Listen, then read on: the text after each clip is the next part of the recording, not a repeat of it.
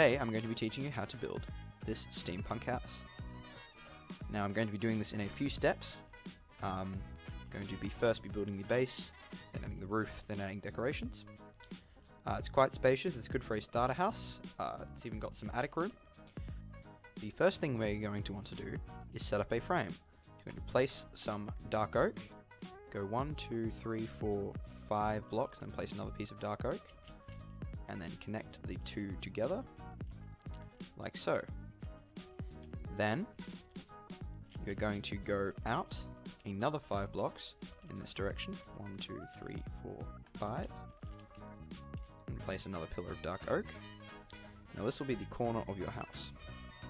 You'll also want to do the same thing here, but we're going to do something sort of different with this section. So, once you've got the frame in, uh, you're going to want to fill this with uh, oak planks, which I will do in a second. Once you have done filled in the oak, you're going to build up seven blocks in any of the corners, uh, as long as it's in one of the back two corners. So if this is going to be the front entrance to your house, you're going to want to do it in the back two corners. So you build up seven blocks, one, two, three, four, five, six, seven. And then you will do the same, um, like so.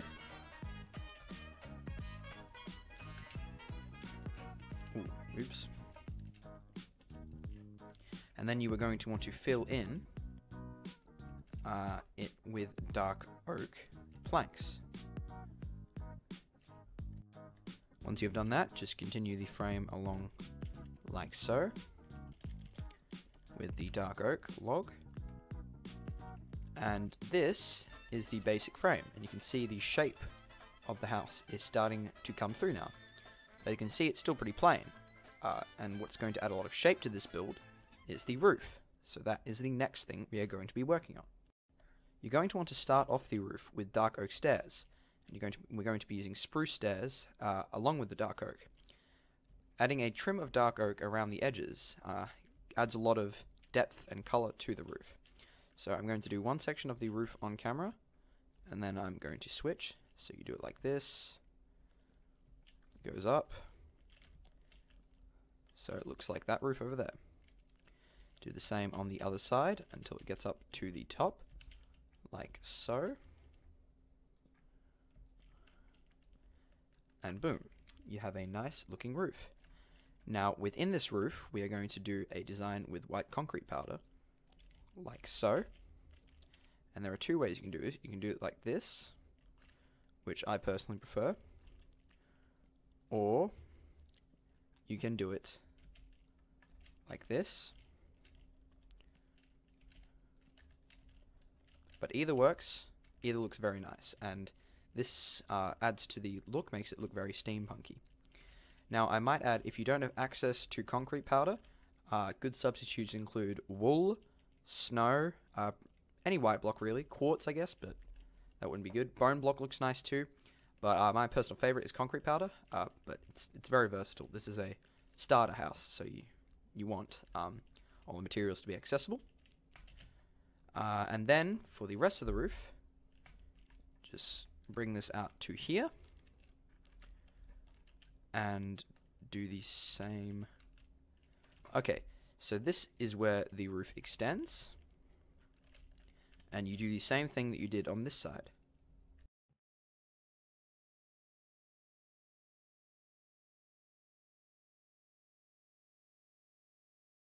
And then you do the same thing you did over here, over here. I'm going to switch up the pattern just to add a bit and to illustrate that this is this can be your design. And now, to finish off the roof, we're going to carry it over the dark oak. And this is where uh, it gets a bit interesting. You have to switch to spruce. And the reason we do this is because it adds uh, some color difference. Looks very nice. Adds some depth to the build, and I think it overall makes it look mu much better than if we were to just continue the dark oak. And the reason, as you can see, we use dark oak here is so there's a contrast between the spruce and the dark oak. So just continue the... Oh, made a mistake. I am a professional. So just continue this throughout the roof all over.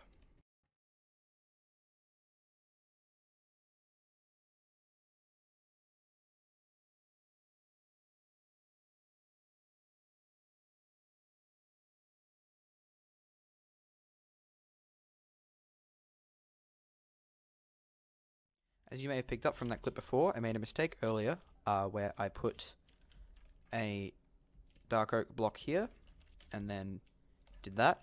Now this still looks nice, uh, but I personally prefer it to be a bit flatter at the top. Otherwise it looks a bit Nordic. Um, so yeah, that is this section of the roof complete. It's looking very nice. But now we need to focus on the roof up here. So it's going to be a very similar pattern to uh, the roof down there. The main difference being here uh, is that it is an even number. So it's going to be slightly different. For starters, we won't be able to bring it to a point like we have down there. We will have to uh, cap it off with an even center, so with a two block center, um, which eh, it's not great, uh, but in this context it looks quite nice. And if you make the tower an odd number, like three by three, uh, it's or one by one is impractical, and three by three looks bulky.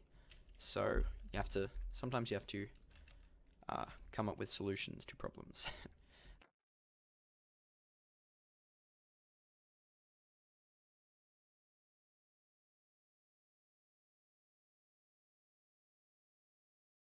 As you can see, the roof is complete, and the house is looking pretty good. It's a nice house, you could leave it at this, uh, but I personally think the walls are a bit flat. So to combat that, we are going to add some details.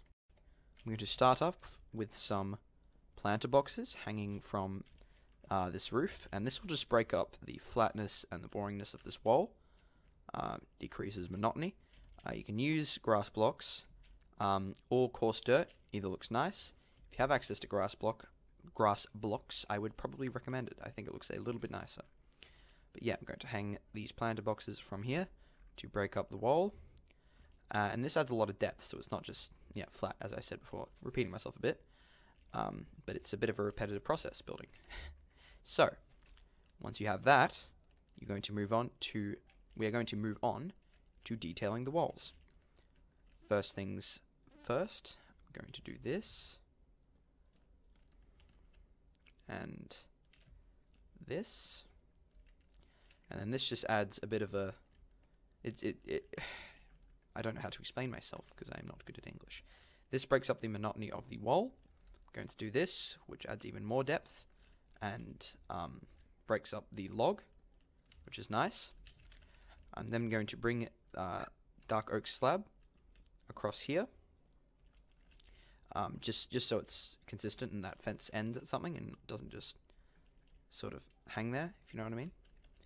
I'm going to put a window here and take some spruce like that.